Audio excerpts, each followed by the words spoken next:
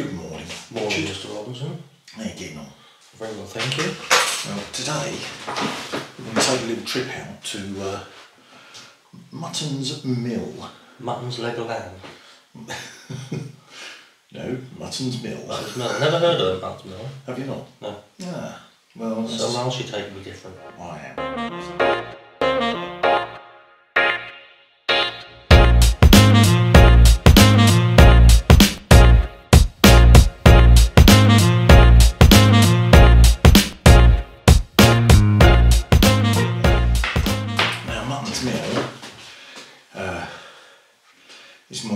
Known as the Manor House Mill.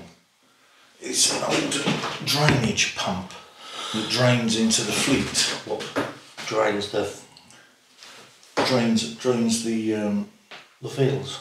the water from the the dikes into the Fleet, Okay. uh, which is like a very small river that actually ends up running into the river. Yeah, Yeah. yeah. We're going to go there this morning. Lovely. Okay, and we're going to take what we're going to use today is my faithful, beautiful, bestest camera of the year. Now I hear a lot of people going on about this on YouTube lately.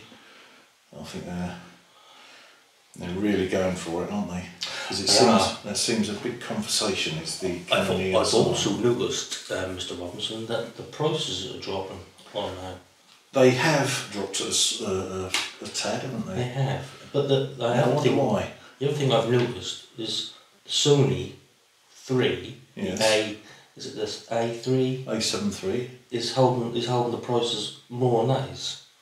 Yeah. Why is that? I don't know.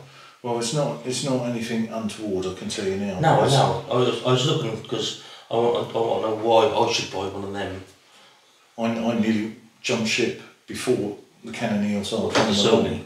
to go to the Sony, but because I'm a Canon user, all, all my equipment is Canon.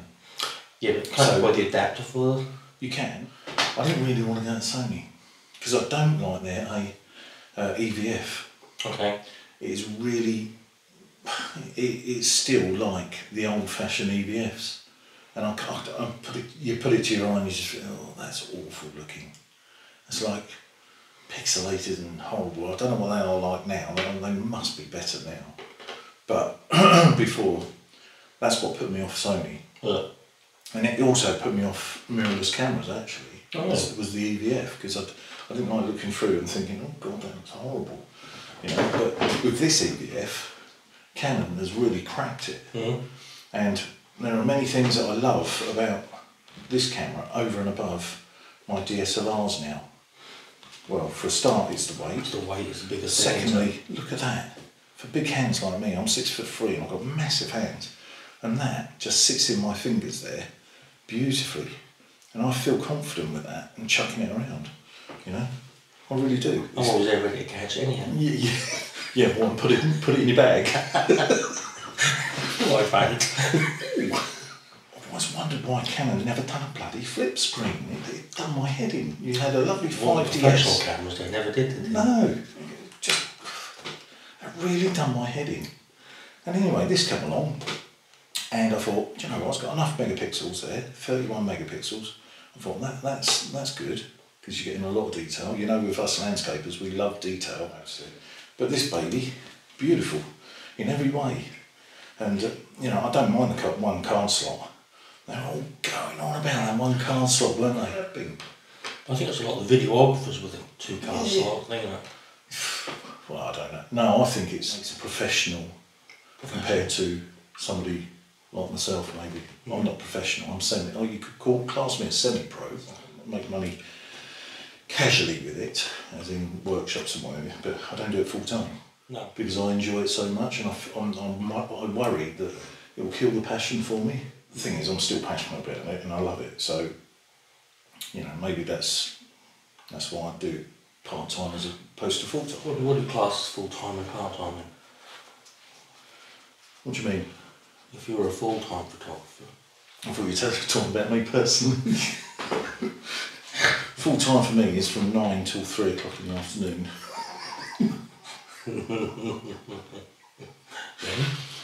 And when I'm doing photography, it's um, silly o'clock in the morning to when I fall asleep during Yeah. the day. Well, at the minute, ain't too bad, is it? Because Well, at the moment, it's fantastic. It's eight o'clock sunrise perfect. and four o'clock sunset. Um, you could you could be shooting all day Mm. at the moment, couldn't you? You could do, couldn't you? Yeah, easily. If you're if you're really really passionate about it and you want to be out all day. So where is Mutton's Mill? Right, Mutton's Mill. Let's get back to that. Yeah. Good point. Mutton's Mill is drainage mill. Um, last worked in 1947 by. So it's not a working mill then? It was a working mill. Yeah, but not anymore. not anymore. Not anymore. Um, it was a working mill by, and it, it was owned by a chap called Mr. Fred Mutton, hence the name Mutton. Mutton's Mill. Here we go. So in 1984, it had a new cap put on and new two new sails, Okay. and it is privately owned, and uh, it's on Halvergate Marshes. Ah. So it'll be a lovely one to photograph. So uh, we're going to go through that magic door again, mate. Are we? Yeah. So, should we go? Yeah. Let's do it.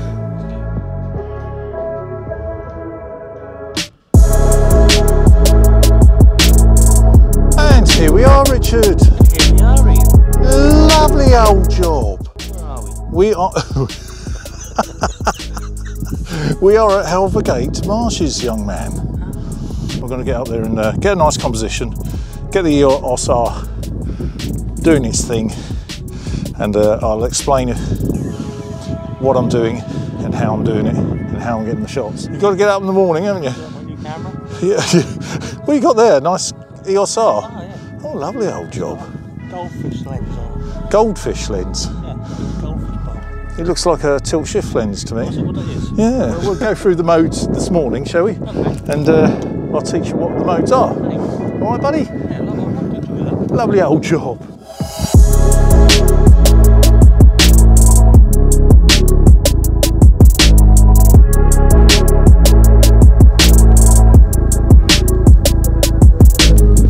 So composition is here. So we've got a nice reflection in, in the pool. And what we're going to do is get that reflection and with any luck 17 mil will do the job here. It's very tight for the composition. I, I have a tilt shift lens on which helps me a lot. So there's a little lesson for you today is about tilt shift lenses and what they're capable of doing. As you can see I can't get everything in there okay? Unless I do what tilt shift lens does and I, it does this. So you go one shot two shots three shots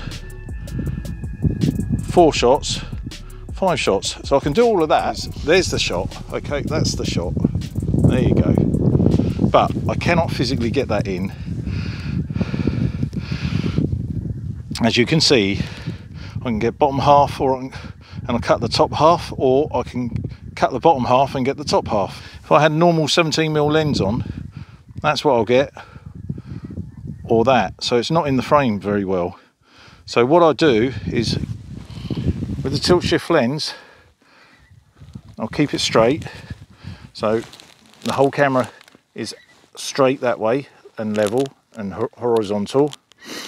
And then what I'll do you can see these lines here. So I can bring that down and up. So I can shift my lens up and down. That's one shot. So I'll take the shot bring it down take the shot bring it down take the shot bring it down to there take the shot bring it down to that line and take the shot. And then I'd stitch them in Lightroom. And basically what you're getting is a is a uh, portrait panoramic. So as you can see I can't get that shot in. But if I do this like I said before go right down. I can get that in. So what I'll do I'll take the shot got one half seconds. F11 ISO 100 we're on the bottom half of the shift of the lens. We are now going to bring it up to a quarter and take the shot. I'm going to bring it up again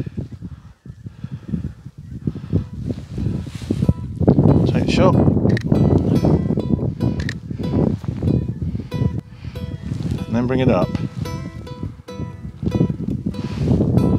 Take a shot again. And then bring it up. Take the shot again. Bring it up. Take the shot again. Bring it up one more. Take the shot again. Just decided to. Yeah, go. There you go. Right. Okay, so that now is a full panoramic. So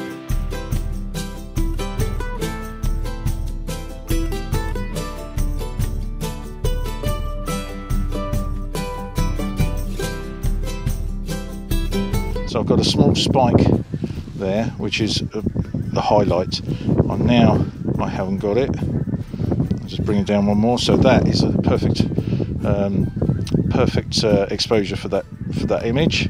Take the shot. Now I'm going to bring it down to the next part of the shot.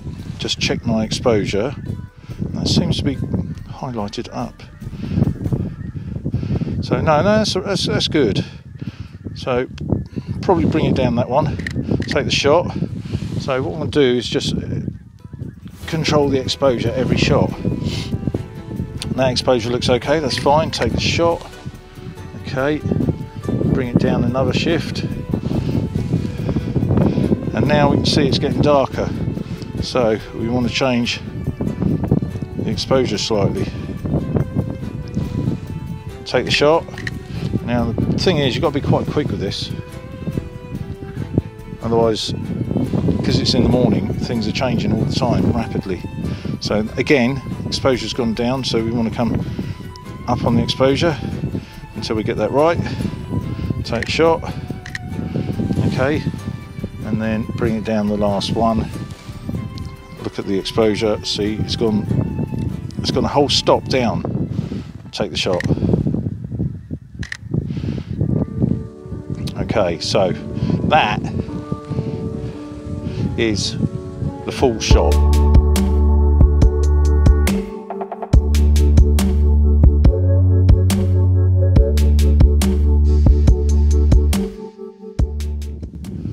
Some colour over there. Just a tad. Not enough. Not enough. Never mind.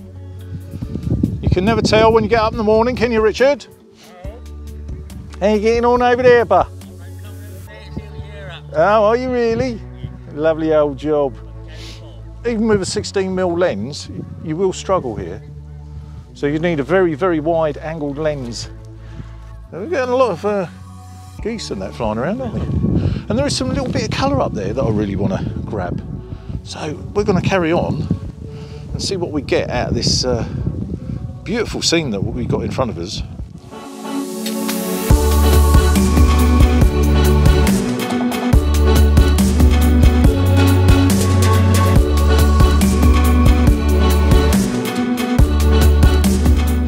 Right, um, what I'm going to do now is, Richard, is Yeah. show you some uh, different modes on your camera. You got you got the Canon 5D Mark II there, haven't you? Yeah, I have. Beginner for a beginner photographer Yeah, like myself. yeah, To go from a crop sensor to a full sensor, I would really, for value for money, that is a is, is a great camera. I love it. yeah.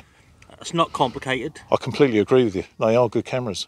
I mean, when I bought the, the Mark III, and I said there's a bit more to it and what that is, but you were saying you don't get There's the just more features. you don't get the peaky blinders on this one, do you? On the on the three, then you, you You don't get the peaky blind.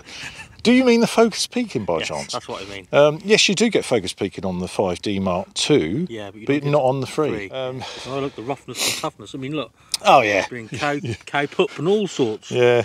That's, yeah. that's great. It's nice, nice to look after your camera, isn't, isn't it? I'll give it a bath when I get home. you give it a bath. yeah, yeah, just dunk it in a I'll bucket of water, sh- you I'll know. put that shower cap on it. Yeah. Go turn it on. I'll show you some settings, Richard. Okay. Yeah. Okay. We come some settings. So what we got is uh, here on the green bit here, that one. What does that mean? That's that that that's actually A. Okay. Okay.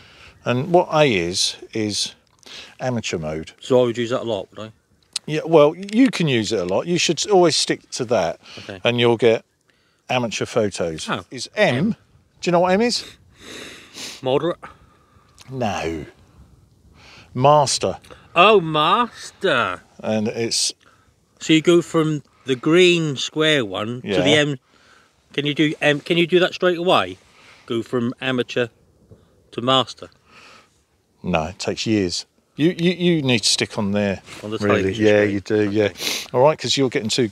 You're getting a little bit too good, and um, I'm a bit worried that you'll be better than me.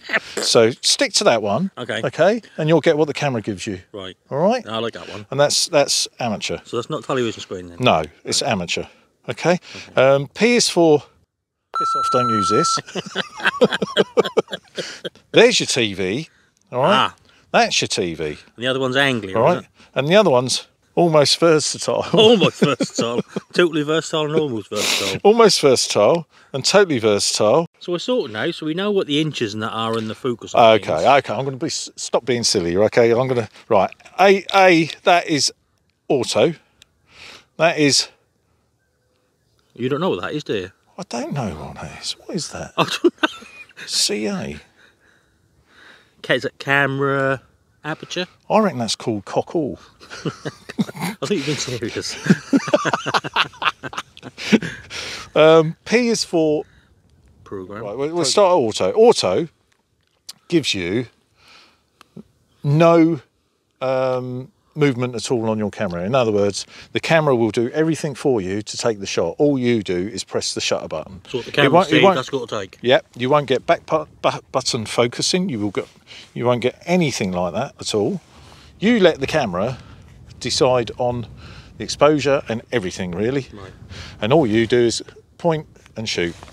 I only used it in my younger days when I was first playing with photography. You're a virgin of a dog. Correct, and most people will go on to that, but you've got to. what CA is, You need though. to get out of that. P mode is program mode. So program mode, you will get a couple of functions. Um, you might get back button focusing. Um, there's very little you can do with program mode. You can't really even. You can change your aperture in program mode. TV mode is Time value. Okay. So TV is time value.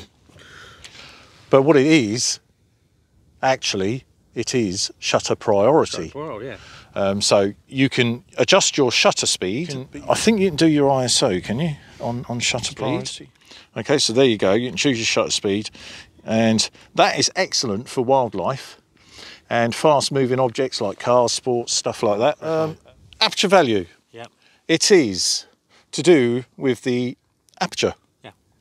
And you can change your aperture and your shutter speed will change accordingly to your aperture. So, in other words, if you said you wanted f2.8 because it's low light, your shutter speed will Compensate for that one. It? it will do what it needs to do to get the the exposure correct. Yeah. And then of course you get to manual mode. Manual mode is exactly what it says on the tin. Tin. You are the one In control. in control. I am in control. You are in control. Fat control. And and that what it what manual does basically you can change everything on your camera and you would have to anyway to Yeah. to get your exposure correct. And that's what we tend to use in landscape photography because we are in control of our exposure. yes.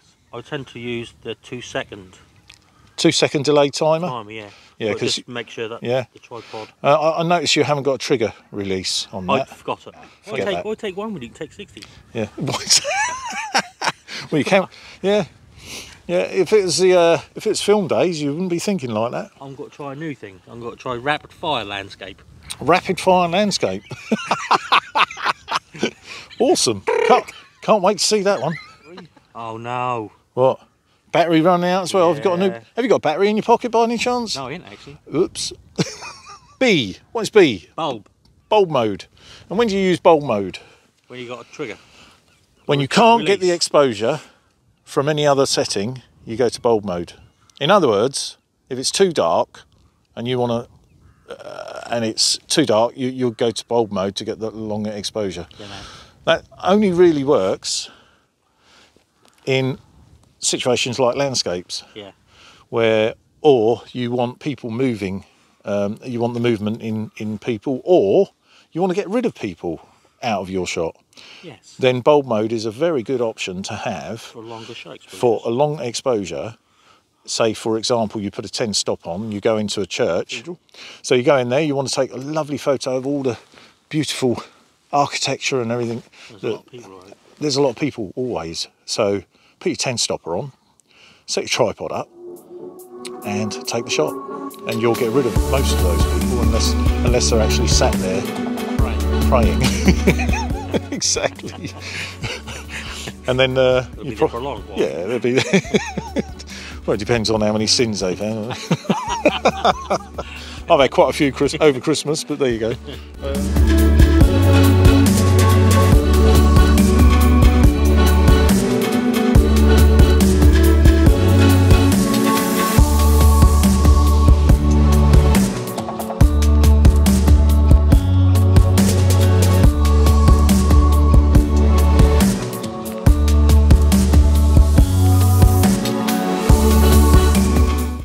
C1, C2, and C3, they are what you tend to put in uh, as your special settings, basically. So you can set them up.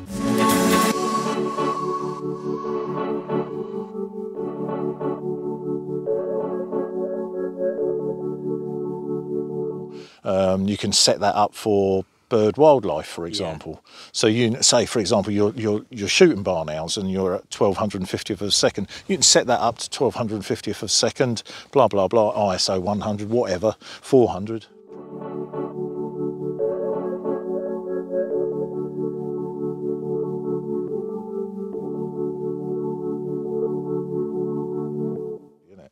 Isn't that a lovely place? Beautiful. What do you think?